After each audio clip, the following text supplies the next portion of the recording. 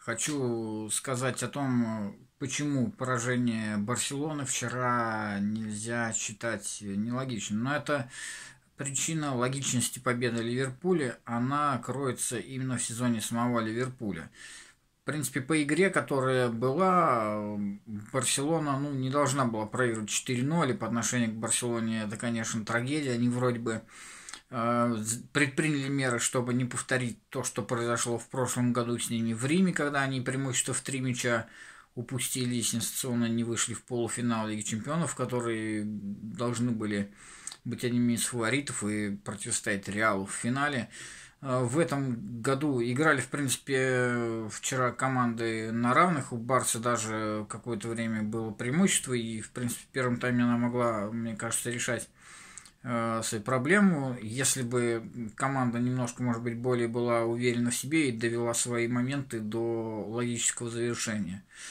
Но после первого тайма 1-0 было, вроде бы ничто не предвещало все равно сенсации. Ливерпуль с травмированными лидерами, тем не менее, сумел забить три мяча, и я во втором тайме заснул, когда потом проснулся, уже матч закончился, я в интернете посмотрел результат и удивился, и немножко даже, может быть, расстроился, потому что я за Месси Э, болел в этом турнире. Но, с другой стороны, по отношению к Ливерпулю это справедливо. Ливерпуль э, может э, при рекордном э, своем сезоне, набрав более 90 очков, всего лишь одно поражение потерпев за весь сезон, э, меньше было только у Арсенала, который при этом э, 16, по-моему, лет назад э, набрал даже меньше очков, чем Ливерпуль, не проиграв ни одного матча при этом за сезон.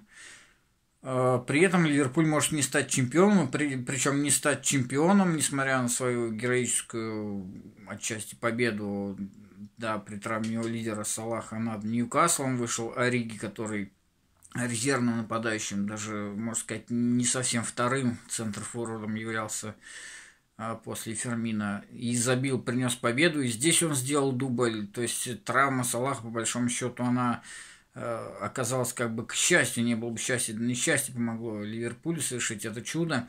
Но э, позавчера, то есть за день до матча против Ливерпуля против Барселоны, Манчестер Сити выиграл благодаря первому голу Винсента Компани, защитника, и причем за э, первым голом в сезоне.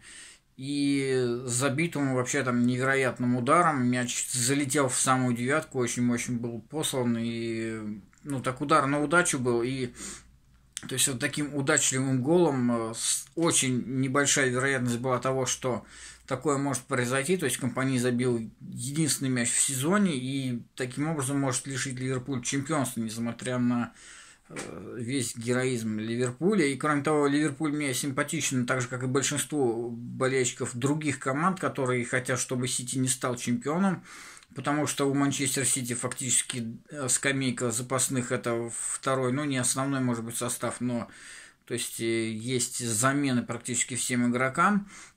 Э, у Ливерпуля команда играет длинный сезон практически одним составом с небольшой ротацией несколько игроков. И вот в этом плане, конечно, то, что Ливерпуль это чудо совершил, это справедливо. Но, опять же, может оказаться так, что Ливерпуль, э, как раз ему может не хватить лидеров, если не восстановится Салах к финалу. Ну, может быть, его бережет тренер э, и Фермина тоже, не надеявшись на победу над Барселоной, не знаю. Вот. Но в финале все равно я буду, наверное, больше Аяксу симпатизировать, как раз по той же самой причине, чтобы турнир выиграла команда не такая денежная, как в последнее время случается, да, сколько лет подряд – чемпионами были Реал, и, ну, это символ вообще денежного мешка, наверное, мирового. И Барселона а, вот в этой пятилетней серии, да, испанских, доминирования испанских команд. Вот, и если победит Аякс, это будет, э, ну, в 90 каком они, в пятом побеждали, да, Милан?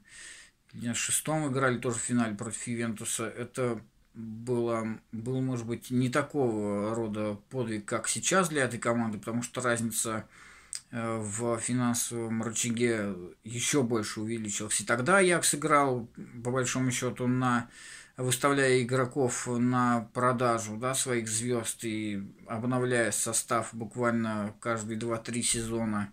Э, звезды у них уходили, и там Деннис Берком, Клюверт и все остальные. Вы, может быть, если с 90-х годов следите за европейским футболом, то помните голландских звезд, которые через Аякс прошли и потом сверкали в других чемпионатах и становили, делали чемпионами другие команды известные. Вот, хотя, кстати, Арсенал так с Берком, по-моему, не выиграл европейский титул чемпионов. Вот, ну, то есть в финале я все равно буду симпатизировать Аяксу и, и надеюсь, что все-таки в чемпионате Сити оступится матч против Брайтона, и пускай Ливерпуль там станет чемпионом, а Европе... Ну, если он все-таки выиграет потом турнир, тоже это будет... Э, это будет за долгое время финал двух команд, которые мне симпатичны и которые ну, заслужили как бы, своим вкладом в футбол этого сезона стать победителем трофея, но Аякс, наверное, более яркой будет победа, если он сможет одолеть. Ну, к тому же надо, кстати, чтобы Тоттенхэм еще сегодня был обыгран, а Тоттенхэм э, может еще Аяксу насолить. Посмотрим, как сегодня будут развиваться события в Амстердаме. Буду болеть с голландцев.